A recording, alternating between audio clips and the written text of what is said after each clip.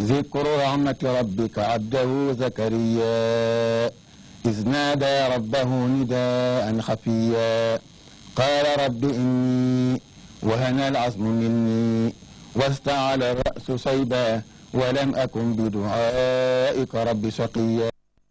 بسم الله الرحمن الرحيم. الحمد لله الذي هدانا لهذا وما كنا لنهتدي لولا أن هدانا الله. wassalatu وَالسَّلَامُ عَلَى ashrafil الْمُرْسَلِينَ سَيِّدِنَا مُحَمَدٍ إِبْنَ Abdullah wa ala alihi wa ashabihi wa man tabi'ahum bi ihsani ila yawmiddin. Praise be to Allah subhanahu wa ta'ala, the creator of the universe, and may his peace and blessings be upon the last prophet Muhammad sallallahu alaihi wasallam.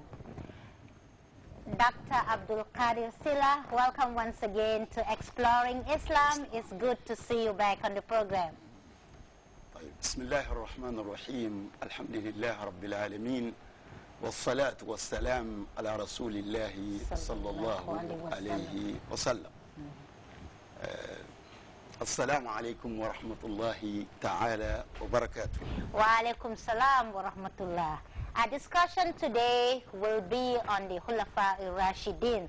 As you know, after the Prophet Muhammad sallallahu alaihi wasallam's demise in 632 AD, he left behind a legacy, Yeah. one that was indelible. And these Khulafa al-Rashidin, who were the successors through their courage, wit, and resilience, they were able to continue the work that the Prophet Muhammad sallallahu alaihi wasallam started. Tell us more about these Khulafa al-Rashidins. خلفاء الراشدين بسم الله الرحمن الرحيم الحمد لله رب العالمين والصلاة والسلام على رسول الله صلى الله عليه وسلم Uh, خلفاء الراشدين uh, first of all before your question I want to tell our viewers that uh, Al-Khalifa uh, Al-Khalifa has two meanings uh, Khalifa as the vicegerent of Allah subhanahu wa ta'ala on this earth that is the general meaning of Khalifa. When Allah said subhanahu wa ta'ala to the angels that I will put on the earth the vicegerent. That is the mankind. That is the Khalifa. So the second meaning that uh, for the Khalifa is the vicegerent uh, or the successor. Uh, the successor here, we want to concentrate on the successors of Prophet Muhammad sallallahu alaihi Sallallahu wasallam. When he demised, they are as uh, uh, Khalifas, the people who came as his successors. Those Khalifas are Abu Bakr. Abu Bakr is the first one, and Umar ibn al-Khattab, the second one, and the third one is uh, Uthman ibn al-Affan, and the fourth one is Ali ibn Abi Talib. So these people, they are uh, uh, most guided Khalifas. This is what they say.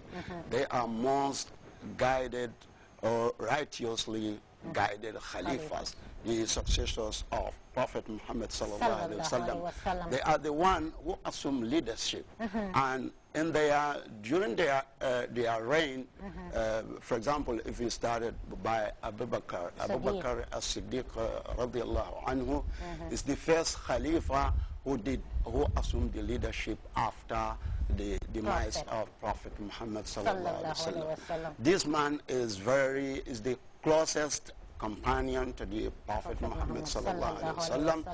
Uh, and at the same time, he was very, very uh, uh, merciful and he is a strong believer of the mission of Prophet Muhammad sallallahu alaihi wasallam. He is uh, really very, very merciful and he is resolved to do what please Allah subhanahu wa ta'ala from the from from the on side. He assumed leadership only two years. The, the demise of Prophet Muhammad was like a bomb, uh, bomb blast.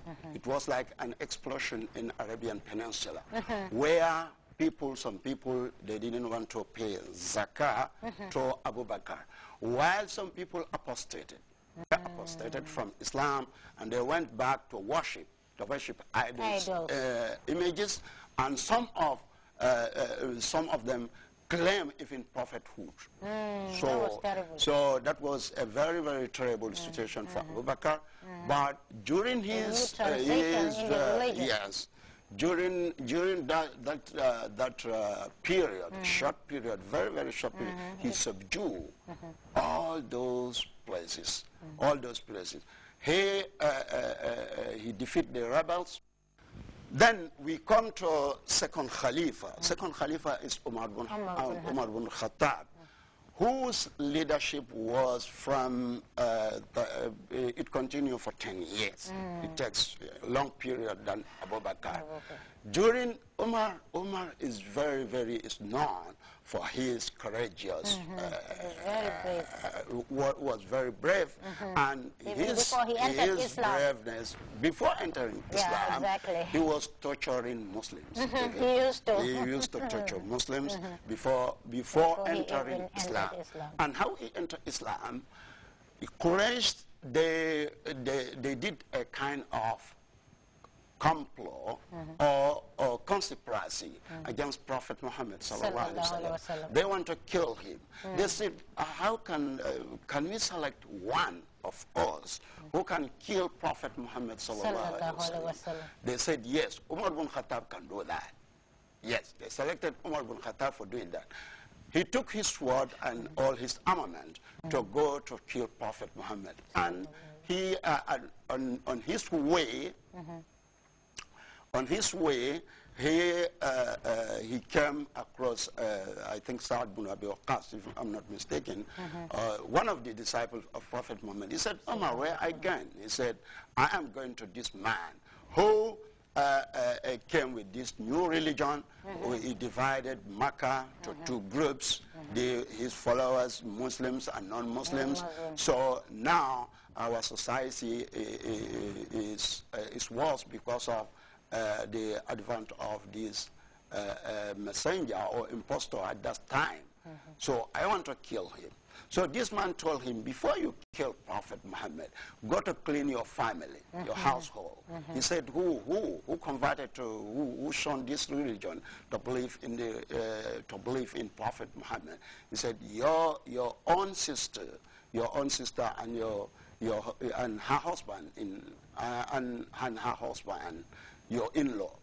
So Umar went to them. Umar went to them. So he slapped his sister uh, and, and bleeded her, and uh, blood came out of, out of her body. So Umar was shy of this, his action, because she was very harsh. So he asked, where is Prophet Muhammad? So that man, when he, when he, when, when she, he saw that Umar now is very lenient, as in, is merciful with his, his sister, he came to Umar ibn Khattab and told him, uh, maybe you will be the one who will embarrass Islam, because I heard Prophet Muhammad talking about you, saying, uh, uh, praying that Allah should